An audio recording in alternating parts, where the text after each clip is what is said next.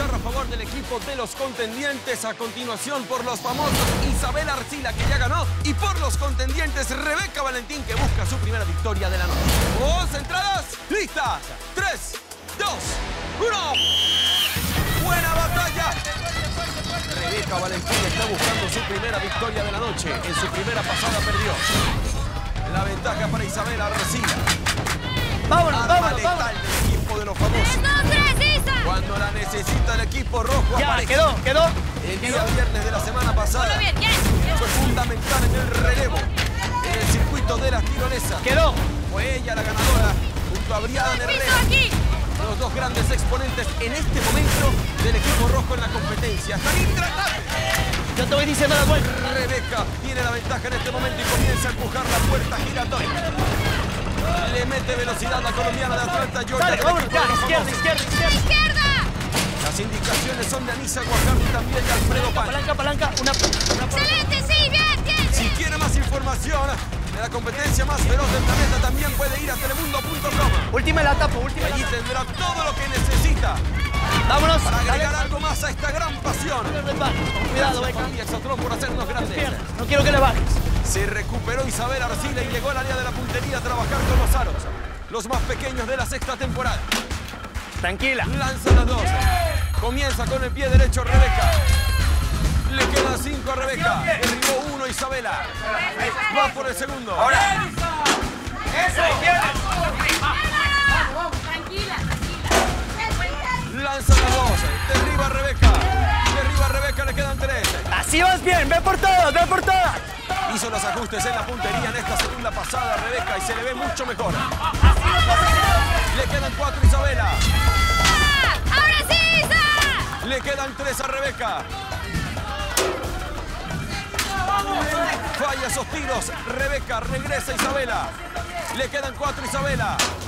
Derriba Rebeca, le quedan dos. Le queda uno a Rebeca, le queda uno a Rebeca, le queda uno a Rebeca, Rebeca. Aquí está la mujer maravilla.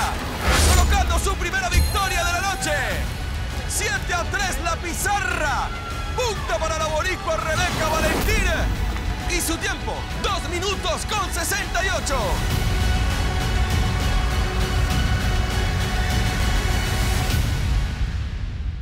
Chicas, los fans de Exatlón quieren conocerlas aún más y por eso nos mandaron preguntas para ustedes. Se las manda arroba familia-azul-1. Susi, tú eres la primera, te voy a preguntar, ¿cómo te sentiste el primer día de competencia aquí en las arenas más feroces del planeta? Bueno, pues primero que nada, un saludo muy grande, gracias por tu pregunta. Te mando un fuerte abrazo. La verdad que me sentí bien, tenía nervios, ah, no sé, fue, fue súper rápido, ¿sabes? Como llegar, ponerme en la meta, no sabía qué esperarme, fueron demasiadas emociones, ah, se me dio mi primer punto, gracias a Dios. Entonces la verdad que fue increíble, una memoria que nunca voy a olvidar. Gracias, Susi. La pregunta para ti, Rebeca. ¿Qué es lo más difícil para ti aquí en Exatlón? Sí, eh, gracias por la pregunta, arroba familia guion azul Guión uno. uno. Lo más difícil es no caerme en los circuitos, mentira, ¿no? no, realmente, mira, eh, es más externo. Yo soy eh, una persona súper familiar. Eh, yo creo que lo que se me hace difícil es eh, evadir ese pensamiento de, de extrañar la familia, de continuar aquí. Eh, gracias a Dios tengo una familia que me apoya, unas amistades que me entienden y me apoyan.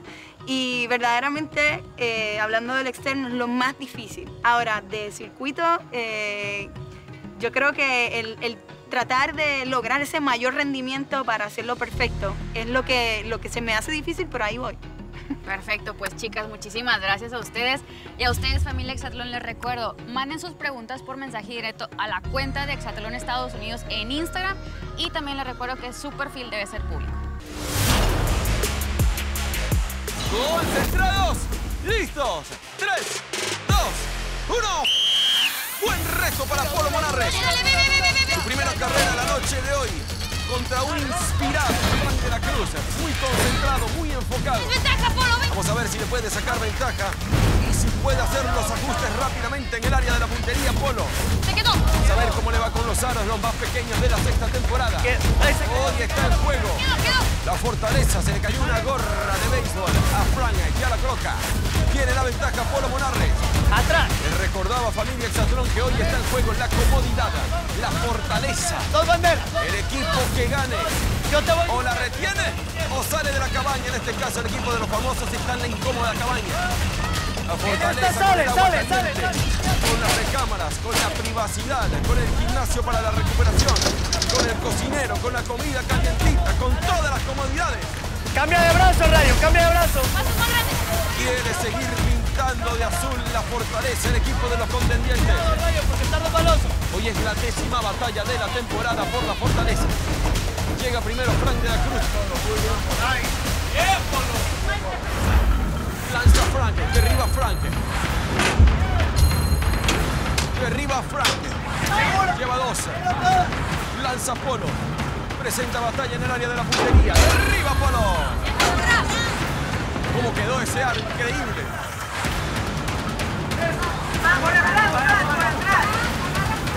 Derriba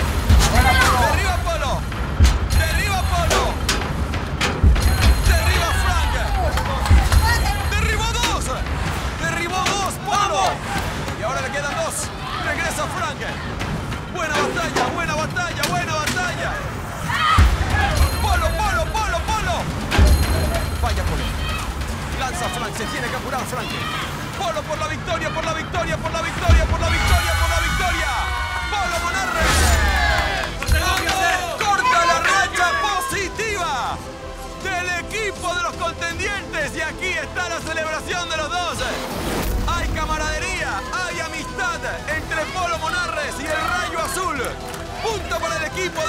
De los famosos. 7 a 4 la pizarra a favor del equipo de los contendientes. Y el tiempo de Polo, 1.59.65. Llegué, le tiré. El primero lo estaban dando muy arriba, muy abajo. Era por la calma.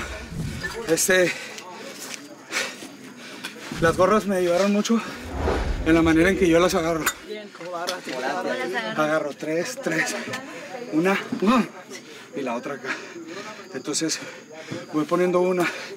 Ahora no las puse de frente, las puse todas para atrás y dos de frente. Porque era como me iban saliendo. Fu, fu.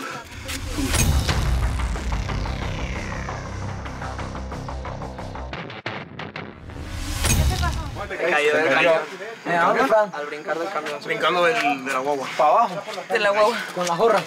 No, me caí. Me tropecé con el pie. Pero yo estoy bien, yo estoy bien. Después del bus. Después del bus. Sí. O sea, de la ventana te caíste. Sí, aquí pasó que. ¿Se cayó la ventana? Tiró una pelota, la pelota cayó pa, y tumbó otra. La misma pelota tumbó dos. Está bien. Bien. Está bien, está bien.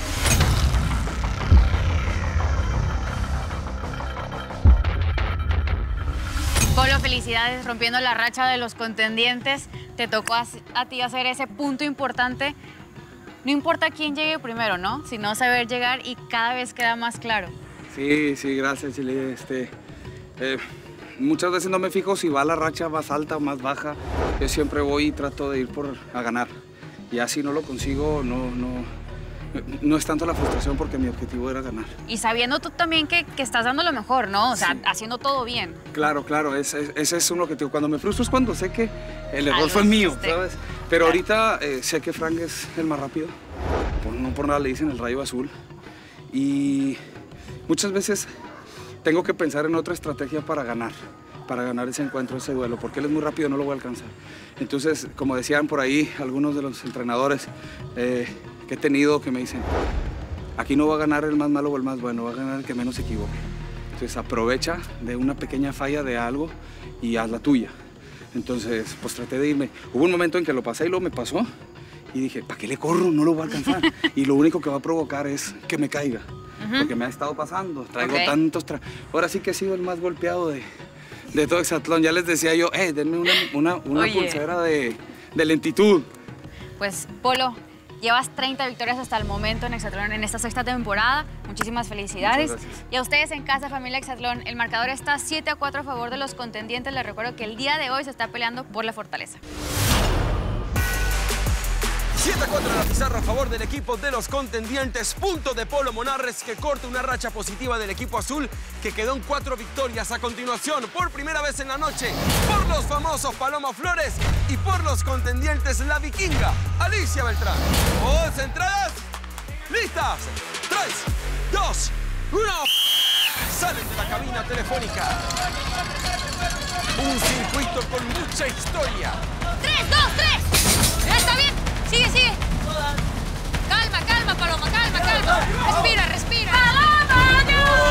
Si quieren ser parte de la competencia más veloz del planeta, vayan a exatlón.com. Llenen toda la suscripción. Hay que llenarla 100%. Compartan sus fotos, sus videos. ¡Quedó! Y podrían estar aquí como Paloma Flores, como Alicia Beltrán, batallando, comenzando la semana número 7. Las banderas, por abajo de las banderas. Una. Buen ritmo para Paloma, su primera pasada la noche de hoy. Te cuento, te cuento. Aquí la temporada pasada se dio un duelo de eliminación Sale ya. Izquierda, izquierda. dramático entre Eric Alejandro Showtime y Martín Kochkerian, que se definió como te dije. en un último lanzamiento y hasta allí llegó la historia de Martín. Kochkerian, el uruguayo de Boston. Siguió en carrera en ese momento Eric Alejandro Te vienes con Showtime. la tapa, vienes con la Aquí la tapa. puedes ganar, Paloma. Tapa. Semanas después, aquí se retiró Showtime.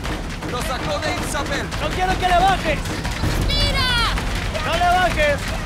Llega Alicia al área de la puntería. Que ya sabes el enfoque. a la línea de la verdad. Lanza Alicia. Golpea la hélice. Derriba Paloma, tiene la ventaja. Quiere el quinto punto del equipo rojo. Derriba Alicia y responde. Pero la ventaja la tiene Paloma y le quedan cuatro. Flexiona, calcula, derriba. Buena batalla en el área de la puntería. Dos brazos educados.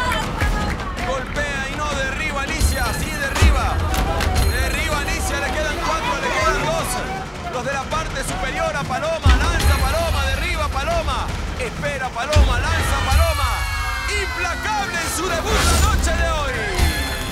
7 a 5 la pizarra y el grito de Paloma. Paloma pone el quinto punto. Dos victorias seguidas. Aquí está el equipo rojo y su tiempo. 1.53-39.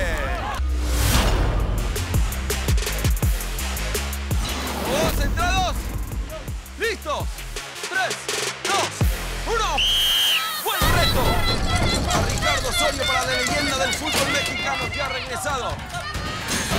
América del equipo médico del Satrón Estados Unidos. Al igual que Paloma Flores, estuvo en la carrera anterior y regresó con victoria. Plataforma inestable para los 12. Anisa Guajardo con indicaciones. También Alfredo Pan. Ya quedó. Ya quedó. Ya quedó. Ponla bien, por abajo, palabra clave de Alfredo Pan en esas indicaciones ya quedó. Para que Joycel no se fije en la gorra que acaba de colocar.